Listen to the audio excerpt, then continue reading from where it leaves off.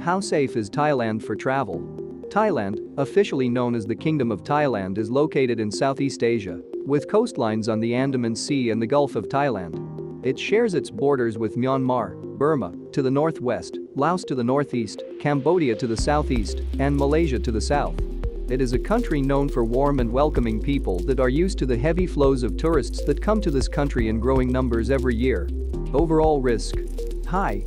Generally speaking, Thailand can be considered a safe country, some parts are very safe, while others are highly dangerous. You better apply all possible precautious measures, just in case you stumble upon the latter. Travel insurance. Just like anywhere else, we recommend getting travel insurance when traveling to Thailand, better be safe than sorry. Word of caution. Beware of pickpockets in crowded areas and tourist landmarks, and do not let your guard down just because you are feeling safe.